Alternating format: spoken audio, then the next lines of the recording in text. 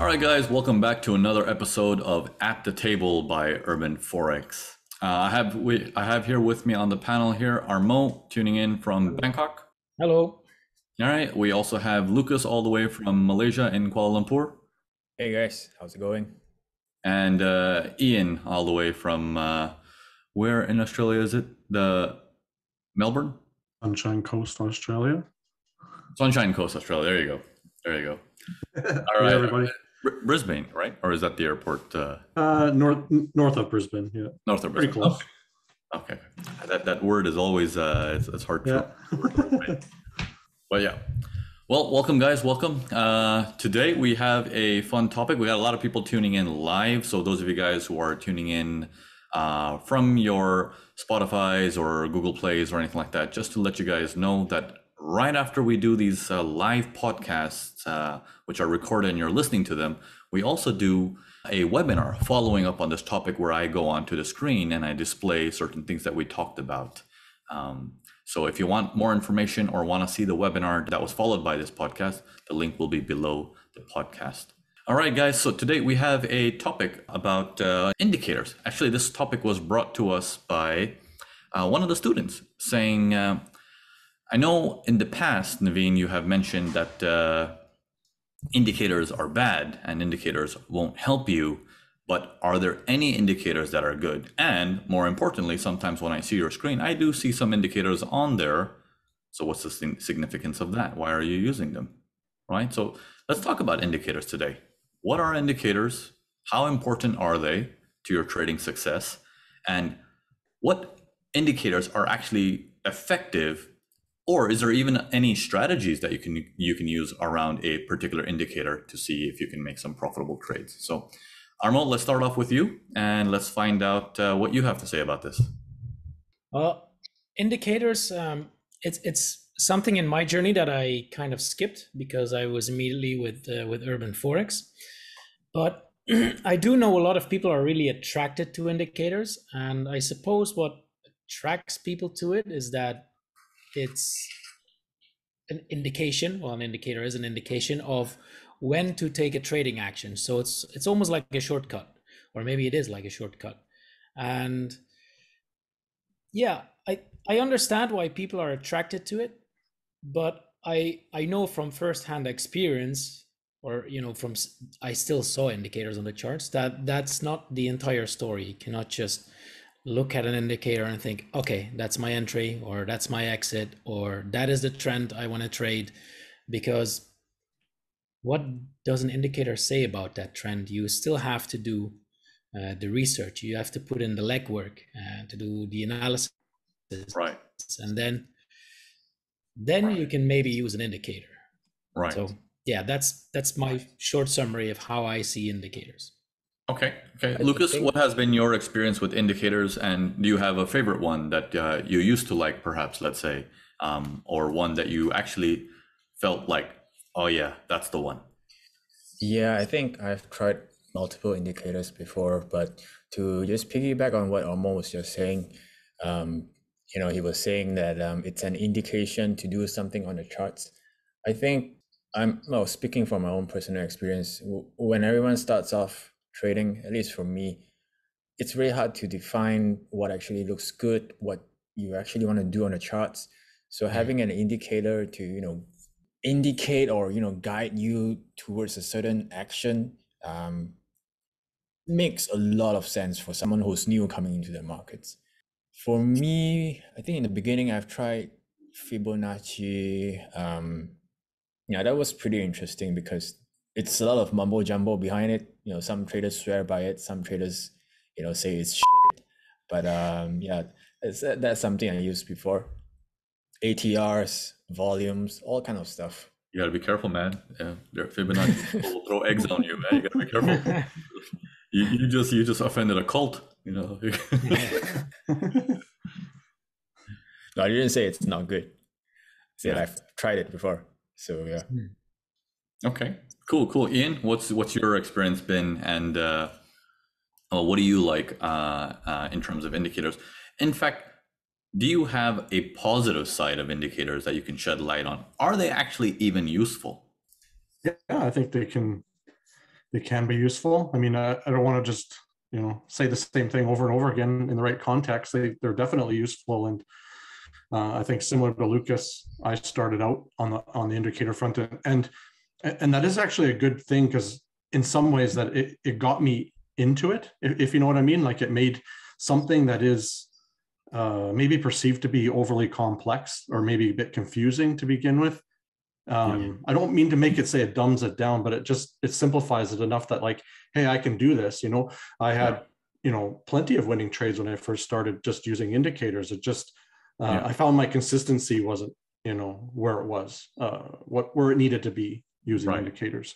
That's why I steered away. I, I guess eventually. So okay, so from from the sounds of it, all of you guys are are basically saying that's where your journey began. Um, so let me talk about that. Like, if that's where the journey began, should a new person well and and the opposite side of it you're saying that's where the journey began but that's not where you are anymore so you're no longer perhaps using indicator anyone using indicators anymore any of you guys yes. Oh if volume is considered indicator Volume, okay then, yeah okay so Volume, probably not in the sorry volumes mas atr Yeah. okay okay so probably just- not in the sense of how you used to use them for entries and No. exits and all that I think it's not the focal point of how we trade anymore. I think is more what it is. They're there and, and they're there to be used in circuits, but we just they're not the main focus. Okay, so um, so actually that's a very interesting. So let's talk about how effective are indicators for, for example, a new person coming into the industry. You know, should they use indicator trading strategies? Would that work for them, or should they avoid it altogether, or are they doomed and they have to go down that route? I, I think Ian brought so- something really interesting up there, where where he said well, you you come into the market and what you see on the screen might be very confusing, or you know at least not not clear on when you have to do something with it. Uh, so when do you have to trade? And indicators can be a nice entry point into discovering um, how the market operates but it's it's only an initial stepping stone i'd say so it, i think it's a good question to ask whether it, it's necessary for a beginner or not because it's it's just part of the journey and it's it yeah. I don't know if it's a necessity in the journey. I'm not sure as well, but based on what Ian was saying, um, someone who starts off using indicators, you know, they may try things here and there, and then if let's say they find that things are not consistent, you know, if they're able to take it one more step further and think about why things aren't consistent, then the next journey begins.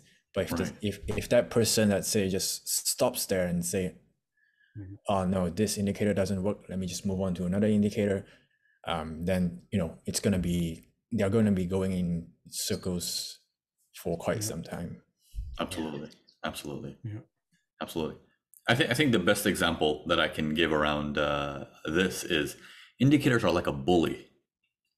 You can get rid of the bully and be like, all right, no big deal, or you can experience having that bully, standing up to that bully, and then saying, I am now stronger because of the presence of the bully was there. You know what I mean? It's it's sort of like you learn to be better because he was there. So you're look you're finding a good positive light from the darkness kind of thing. So it's not necessarily a hundred percent bad bad thing. I don't know. What do you guys have to say about that? Would you guys agree with something like that? So like all the MAs, 100, 100 MAs, 50 MAs, 20 MAs, all pointing down, stand up to the bully and then just buy. It's like- i think you misread the analogy you need a better indicator for that analogy yeah, it, it, you know, it- it's like it's like how how we need bacteria to learn how to fight it, kind of thing, rather than get rid of all sort of bacterias and make sure that Yeah. uh, we never deal with it ever again. It's one of those things. It's like you you need it to be better. So let's talk about needing an indicator. What indicators have made you better in your journey? What indicators were so effective initially and was so profitable that using that indicator and you were like, I think I can build a career off of this. This is a wonderful guide for me to just step in and lift off from here. What indicators did you actually like? for me, I I remember, I think the first one that really worked for me was just a simple moving average crossover. I, I think I was one of the first ones I traded where, you know, you wait for the moving average to either cross above or below.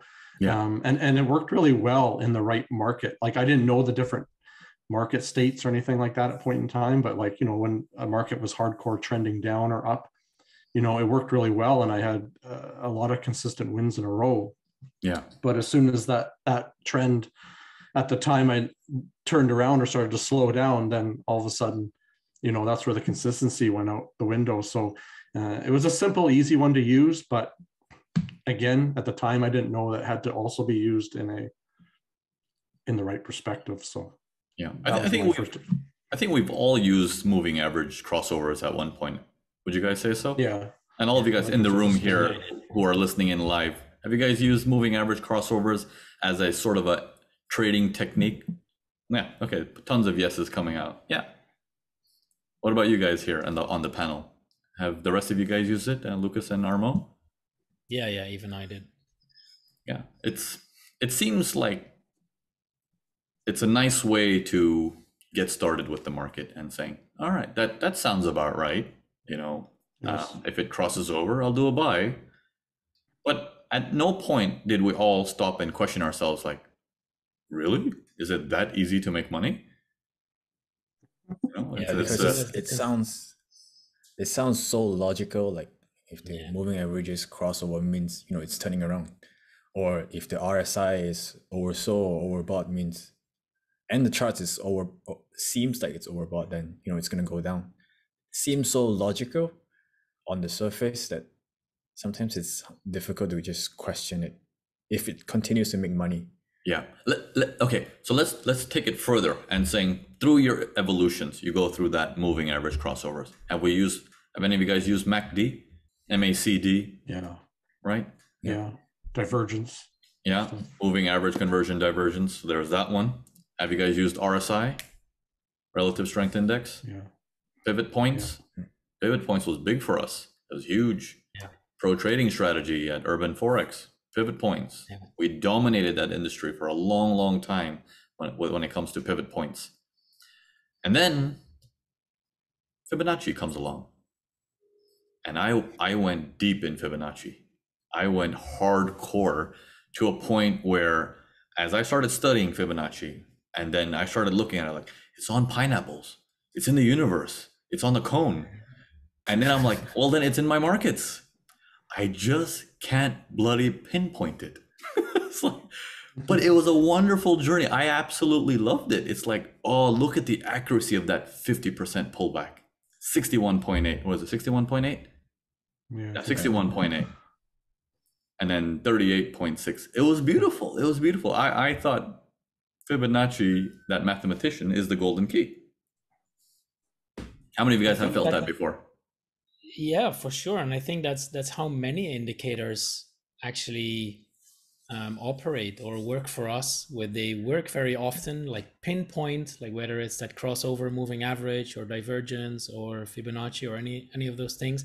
Right. They work like pinpoint, but then sometimes they don't work or they stop working for a while, and then it's like you've just given the col- the golden key back, and now you're there with no skills that you learned from any of that uh, because you're relying on that indicator and you're like okay so i i wait until it works again and how long do i have to wait and when can i trust it so Yeah. it's it's absolutely. uncomfortable to put your your faith so to speak in uh in indicators in an indicator. Yeah, and, and that's absolutely true, right? It's not just the Fibonacci. It's uh, in, in my personal journey also. Any indicator I use, I felt that's the one.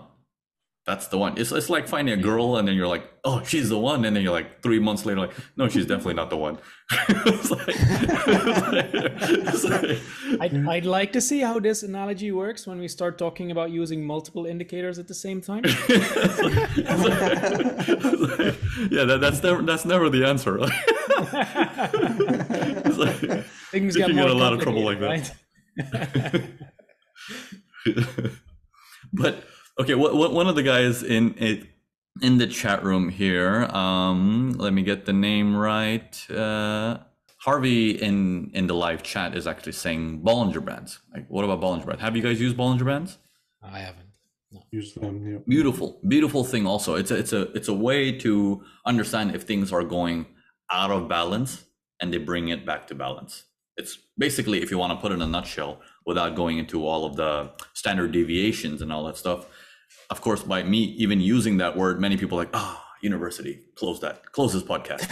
it's like I, don't- I don't want to hear those words. Ah, this uh, reminds me of calculus. Like, no way, I'm listening to that. but to keep it simplified, it's a band that looks like a sandwich, right? Where there is the upper bun, the lower bun, and then the lettuce in between. So that's all it is. And then prices as they go up to the upper bands, prices come back to normal. If they go down to the lower bands, prices come back to normal. So it's sort of like a thing saying, you're too far out, get back to normal. You're too far out, get back to normal. That actually gave me one of my edges where I trade parabolic moves. So it's not all bad. It's not all bad. Through the use of Bollinger Bands time and time and time again, now I don't use them. I, I don't even look at them. But it gave me an edge, an extra edge that I use in my you know everyday trading when I when I do parabolic mean reversals. Okay, you know one of those edges that you know I, I you guys know about this, uh, Ian and Lucas at the prop firm. When we do these parabolic moves, what what are we actually doing? We're bringing price back to normal and there's a certain way we trade those. And so I learned that from trading Bollinger Bands over and over again until some golden key came out of it for me. And then I'm like, all right, well, time to move on from Bollinger Bands. But it was very useful for me. So again, you know, it's not all bad, right? Indicators. No, I think for market observation, they can actually be really useful. Yeah. Correct. Especially to, especially till your eye like has has viewed the charts long enough that because I over time, even just without the indicators, you can just okay, that thing's outside the Bollinger Bands. You know, you don't need the actual Bollinger Band on there anymore. But Mhm. to begin with, it, it's really helpful, right? Just to kind of give you that perspective, you know, till your eye just naturally sees it without the indicator on there. So Correct, correct. Now, let, let me ask all of you guys this one thing.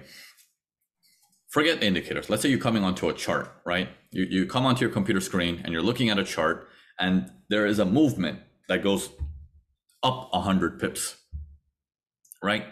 When the green candles that you see that are going up 100 pips, how many of you guys have ever done this in the past where you're like, imagine I bought at the bottom and I closed at the top? That 100 pips would have made a lot of money right? We've all done this in the past, right? At least a billion times a day.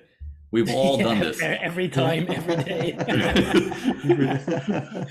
So, since we've all done that, now, but here's the interesting part though an indicator cannot tell you that in advance, it can only tell you that after the fact. So, then our dream that we're looking to, oh, I wish I bought it from the bottom and sold it at the top, an indicator can never get you that information, which is kind of weird. Which is kind of weird. So it, we come to a realization much later into our careers of like, the indicator cannot tell us the future. You know, I, I see Siva uh, saying this in the live chat. Indicator shows the past. I can't see the future. That's very, very true.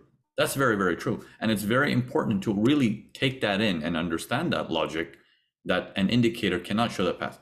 Another one from Leroy, he's saying, is news also an indicator? Now, have you guys seen news channels where there's a word on the top that has L I V E, not live, live? yeah. right? What is news? A news is genetically, ge- not genetically, a news is technically reporting the past. You cannot report anything live. The moment you have to process it, the reporter has to process it, speak it out of his mouth, it is already the past. The moment it reaches your ears, it is the past. You can only report the past. You can't report the future.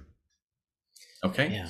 An indicator is the same thing. It can only talk about the past. So our whole point is, well, then, do I need the past to understand the future? Now, it's like our indicators philosophical. it's like, is that what's going on? Are the, is, are indicators telling us the meaning of life? The more and more, the more and more this conversation continues, it feels like it's we're sort of writing a plot for a movie. it's like indicators of forex coming to your home screen soon. Is the past what you need to know what the future comes? Yeah. Oh, that's a very good one. Casey is saying, what about the weatherman? Yeah, that's very interesting. A weatherman is the only person that is using the indicators to actually predict the future. That's a very good analogy, actually. A weatherman is the only indicator that we like to use. However, when I say the word weatherman, it's also a dark spot for many people because when they listen to it, I'm sure anyone tuning into this podcast is probably swearing at their weatherman, saying, My weatherman is horrible. he can never predict rain or sunshine. I live in London. They can never predict when it's going to happen. like, so some people really hate their weatherman in their own cities and they're like, No, my weatherman is horrible. He's not good. But now, if you, you know, many places they'll go down to it's going to rain down to the minute. Some weather some weather stuff is actually very very good. They can actually predict it to a certain level of accuracy like that. So there there it goes. Like not all indicators are bad. Can you use indicators to sort of predict the future? So how about that? What do you guys have to say about that? Well, to an extent, there like you can forecast, which is the same what the weatherman does. you can forecast. Okay but isn't trading all trading forecasting technically Yeah. you're With trying to position yourself right Yeah. With a risk assessment and you know, you do the whole analysis. Absolutely, absolutely. So then fast forward down later into the journeys. We got indicators on top of indicators on top of indicators to filter and extra filter and extra filter it out to make sure there must be one golden combination. There must be a setting I'm not using right. I should be using 30 moving average, not 29. Ah, you know, like And it might work once. yeah. if if I if I show you guys a uh, I don't have it right now, but if I would have sh- shown you guys a picture of my basement where I was living in when I first started trading, I have papers and papers and papers all across my rooms, like a mad scientist, going through. All right, I'm gonna do this. I'm gonna use an indicator, and I'm gonna use this indicator to filter it, and I'm gonna do it only between this time of the day. Scratch, throw it away. That doesn't work. Okay, I'm gonna do it all day long, but I'm gonna filter it with the MACD. That doesn't work. I'm gonna do this and this, and then I sometimes I see something actually works, and I'm running around the rooms like there. I did this somewhere. Where is it? I'm looking for that paper. Like I'm sure I, I I made a strategy around this. Where is it? It just goes on and on. It's an endless loop. It's an endless loop. I got stuck in that cycle for like a couple of years. Couple of years. How long? How long were you guys stuck in uh, the indicator rat race? Well, luckily for me, not too long, because shortly after that, um, I came on board with Urban Forex and started to learn from there. Okay, so you went straight to price action uh, after that. Okay, uh, Yeah. some of the guys Yeah. in the chat are saying uh, Alberto is saying three years. Uh, Caval is saying long, long time. Okay, uh, Ian, what were you saying? Yeah, I was probably a year or so at least. I remember spending weekends just back testing on on software. Like you'd find this strategy, you back test all weekend long. You're like, oh, I found it, and then it, you know, like you say, it works for a while, and then it doesn't. So then you get discouraged and you go at it again. Um, back testing. So Yeah. And then and then and then the next piece happened. You remove all the indicators. You're like, all right, I'm clutter free. I'm just gonna read prices. And then when you're looking at the chart, you're like, hmm, this candlestick must be a pattern. Maybe it tells me something. Then your your candlestick charts become an indicator. Technically, you're like, all right, I'm not using an indicator technique, but it's it is an indicator. The candlestick pattern. Yeah. yeah. So it becomes it, it becomes a fun game that where you evolve. But it's a fascinating journey, and I think it's this journey.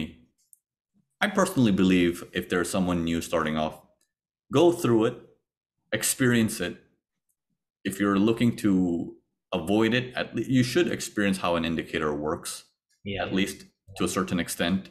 You should know how you feel around it. You should get an idea of I bought because my indicator said said to buy, but then I bought very late.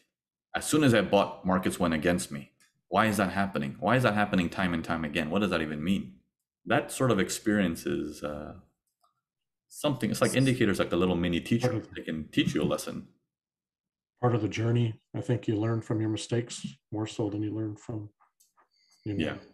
good things. Yeah, I So, think I think it's it's good where you know the the trader will be able to understand what the majority are doing at certain point in time on the charts. So once they are able they are able to learn what the majority are doing and if you know the majority are wrong footed at one point, they can take advantage of that on the other side. So Yeah, yeah. Well, I, I, I see. that sense. I see. I see Roshan in the chat typing. Indicators are a lazy man's tools. Period. Well, it's like that sums it up. And if that's the case, man, I was lazy for like two plus years nonstop.